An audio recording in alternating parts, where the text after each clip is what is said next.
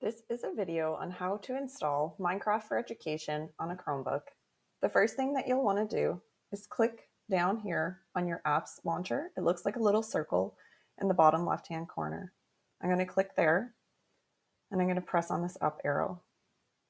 The next thing that you're going to do is locate the Play Store. The Play Store looks like this. If you don't see it on your first page, you may need to scroll through other pages to find it.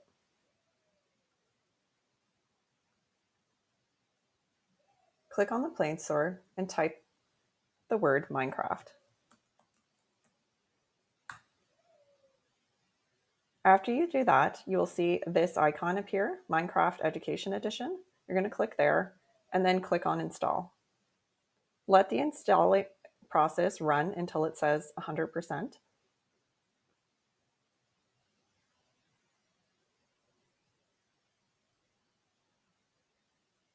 And then click on Open.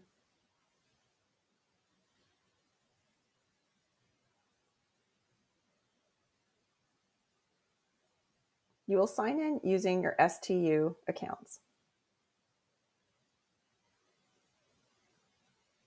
Use the same password for that account.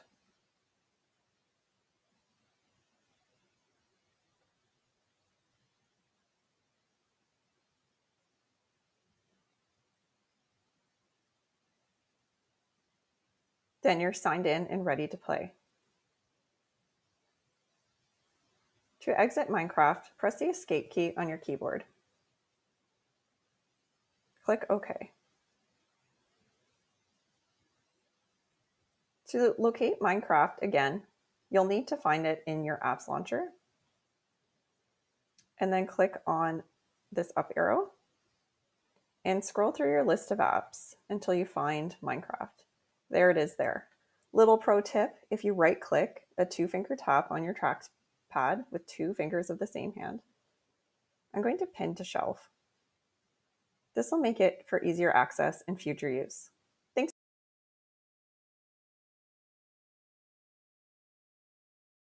Here we are on the Minecraft download page.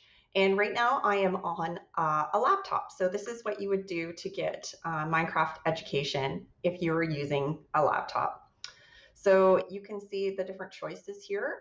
We are going to um, choose for a Windows laptop right here where it says Windows Store version. So we don't want to click this purple bar. We want to click down here where it says Windows Store version. So I'm going to click that.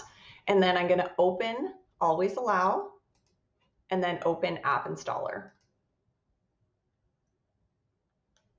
So you can see here that um, this blue check mark is ch checked and we're going to launch when ready. That's what we want to do because we're going to check it out. And then right here it says install. So I'm going to go ahead and install this. So now that my app has installed, um, I get taken right into the launch screen. I'm just going to make this a little bit bigger right here. And um, I am already logged in, but you will probably get a Minecraft um, prompt. So I'm just going to sign out here so we can see this. So we are going to sign in. All right, so the app has launched and I am going to sign in.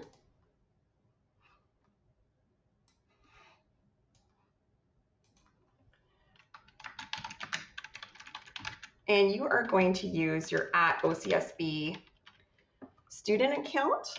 And since I'm a teacher, I'm going to use the at OCSB um. Yours is at OCSBstudent.ca. So I'm going to click on next. And then I'm going to type in my password. This is the same password that you log into your devices with, or you check your email with, your student email. So I'm going to go ahead and sign in. So now that I have Minecraft downloaded to my Windows uh, laptop, um, this is how you're going to launch it again. So here down here where you see the little magnifying glass, I'm going to just start typing in Minecraft and then you're going to see this white window appear and you could simply just click here or to make it even a little bit uh, easier for you to find in the future, I'm going to pin it to the taskbar And once I do that, I can find it down here. So that's what I'm gonna do to make it a little bit easier. And then you can see it launching uh, right here.